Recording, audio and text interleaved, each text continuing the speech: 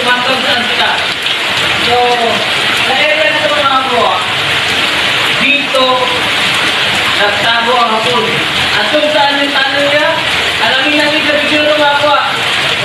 Ayos to. So, ayun nga mga kuha, no? Andito kami sa isang area. Hop! Mga bay, hi naman kayo. Hello, Hello sir. Si, oh, si Sir, oh. Sir Dong. Tsaka si Seren. Andun si Boss Mamot. Boss Mamot, no? So, ito, no? ah, first trail namin, yung isang Bigfoot, pero biniba nila. So, mayroong trail sign dito sa mga hindi nakakita ng arrowhead o sign na arrow na kung ilan yung haba, kung ilan yung sukat. Ganito po yun mga sukakuha, no? Itong arrowhead na to ay mayroon siyang sukat na 1, 2, 3, 4, 5. So, ibig sabihin na sa pag 10 by 10 eh, ano siya uh, 10, 20, 30, 40, 50 50 meters pero no, mali po yan. Ang magiging sukat nito ay ano ah, 100, 200, 300, 400, 500 so 500 meters papunta doon at yung item daw nasa tubig. Yan ang ibig sabihin niya mga kuha no? Hmm. sa mga hindi pa nakakita ng ganyang araw at nakakita ng ganyang sign. Yan po yung sign ng Yamashita Treasure na nandito sa gitna ng ah, ilog at Sapa. sa kawalan no? Hindi mo na malaman kung saan mo siya ma so ibig sabihin pinagdadaanan ito ng mga Japanese army.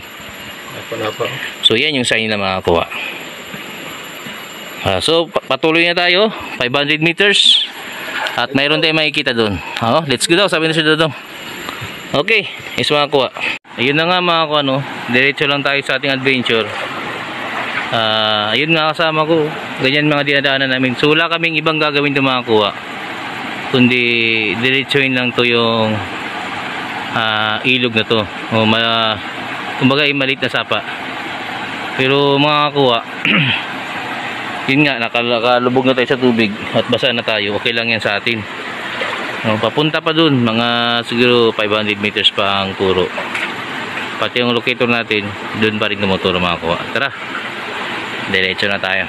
So ayan mga kuha no? Sa nakikita nyo mayroon dyang patulis na guhit. Isa rin yan sa mga trail sign na kung saan dumadaan dito yung mga Japanese army no ayan mga kuha. Ba Sir Dudong lumusob ka na din. So ito mga kuha isa yan sa mga prospect na pinag, pinapaliguan nila. So naggawa sila ng sign dito na papunta doon ang area na pinagkakampuhan nila. So nandun mismo nandun mismo ang ah pinagtaguan ng mga item nila So tara mga kuwa, patuloy na tayo sa ating adventure.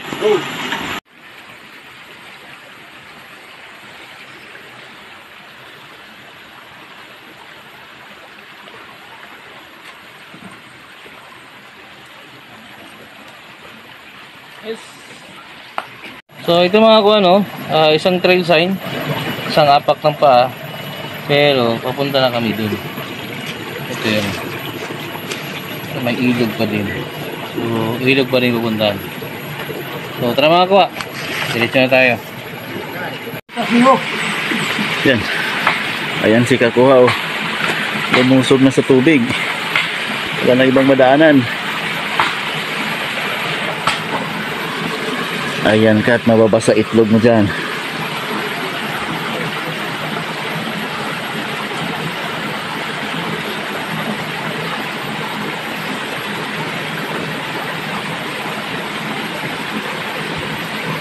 Isang kaway naman dyan kakuha. Anga oy! Ah nga, oy, simipit ka dyan. Anga oy!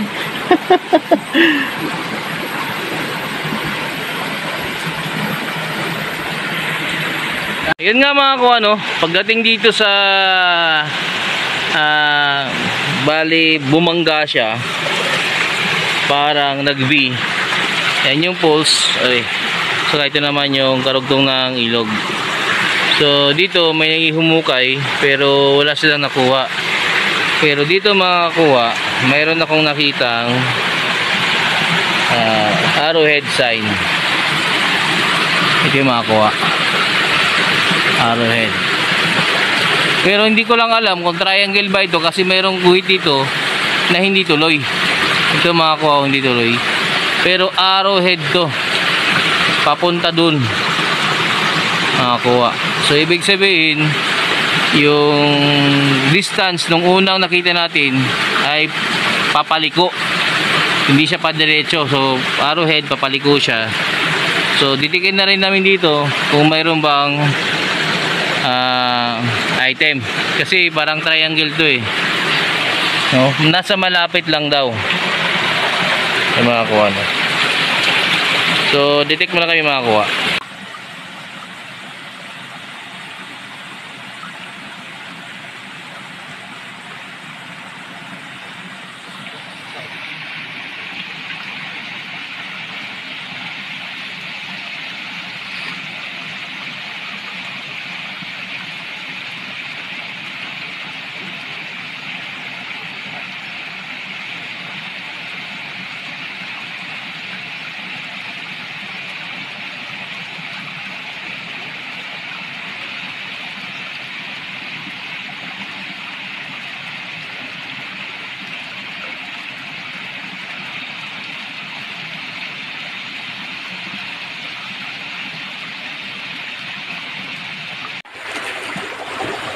Pang-apat.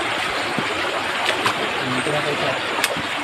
So yun nga ako ano, dito na tayo sa area. So apat na butas kanina sa araw, apat na poles yung nakita namin. Yung pang-apat, Dead Creek. At doon, makakuha, pasukin na natin, yun ang maliit na tanay na pinagdaanan natin. Kaya makakuha, tignan natin. Okay.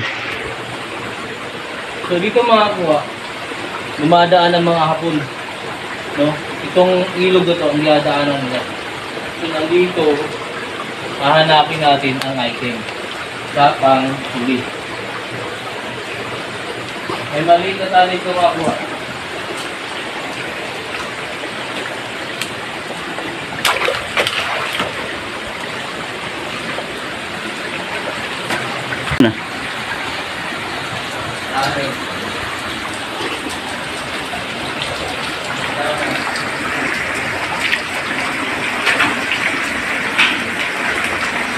Rin mga kuha, no? Sa pang-apat na eh, post, andito pala yung tanin mga kuha. Yung hindi nila alam ang area na to ay patanin yan. Kung nakikita mga kuha ito, ito ang ah, ano ng bato na may tanin dito. So may tanin dito mga kuha, at ang bakal lang ito ng bato. Dito nila nalagay mga kuha. Dito talaga. So, hindi ka rin mga kuha para patunayan natin. Kaya kasi hindi ka raw nahulog ka. At baka mahulog ka na ganyan. So, titignan natin yung mga kuha. Ang totoo nga ba talaga yung basa ko na sign. Ah, dito sa sa location na to, malalaman talaga natin na kung mali ba yung sinasabi ko, kung tama yung sinasabi ko. Subukan natin makakuha.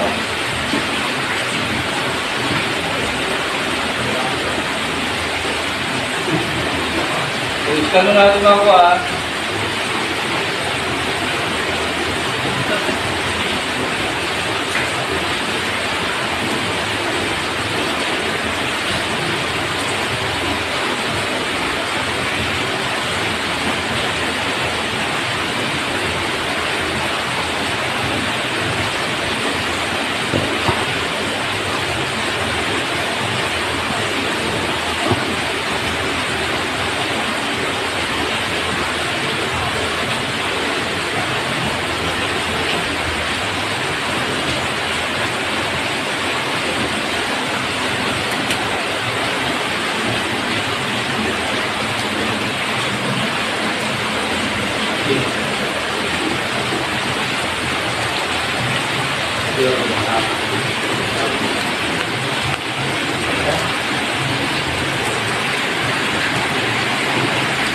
Yan mga ko ano, dito ang turo ng Locator na yan.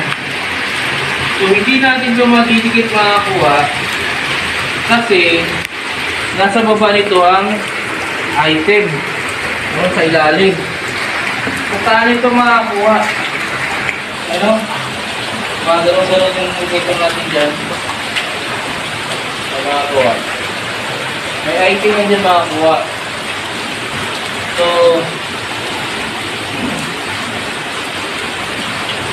tama yung sinabi ko na sa pang-apat na post ay doon na rin yung makikita ang item. So, kung hindi man yun, ito yung post na yun. Diba? Ito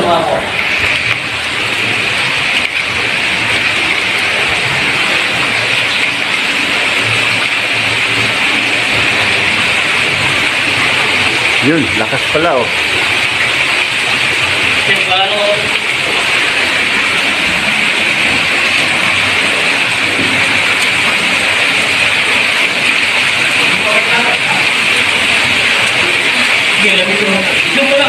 Ah, sige, sige. Sige lang.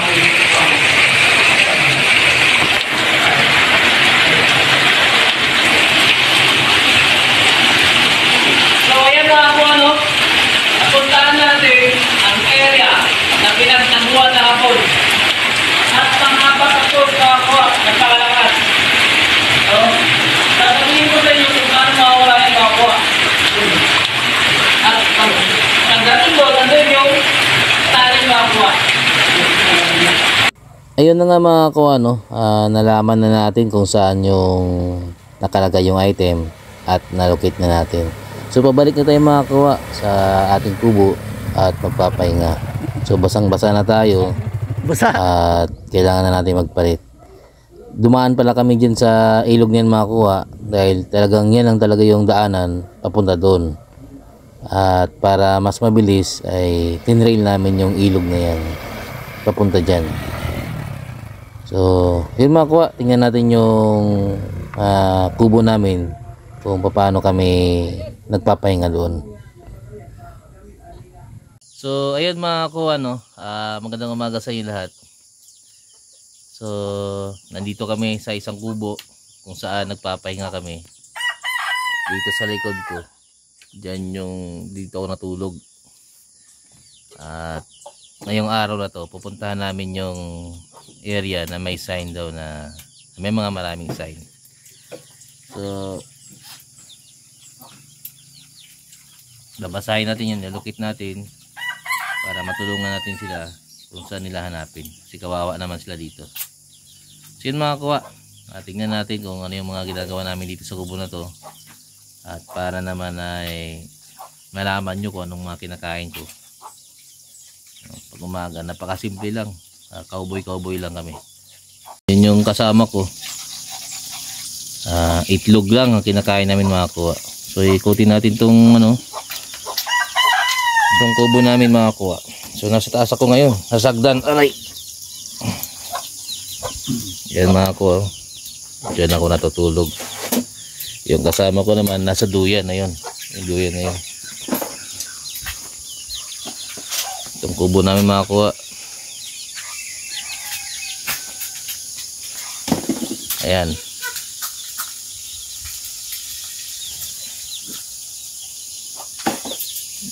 So, farm ito mga kuwa at saka ah, kakabili lang. Kakaumpisa pa lang nila. So, sa taas niyan, doon yung mga tanim ng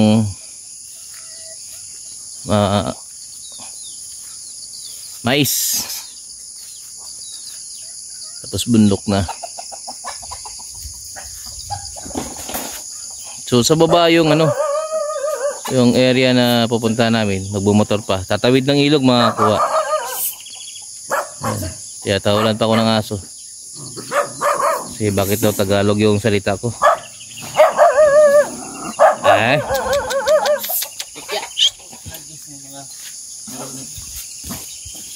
Ayan mga kuha, no?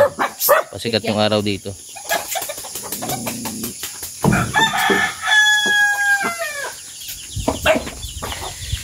So si Kuya rin rin, Ay. ah, nagluluto yan ng Ito tayo ng ano, almusal. almusal. Siya yung nagluto ng munggo kagabi. Napakasarap. Halos di tayo makahinga sa busog.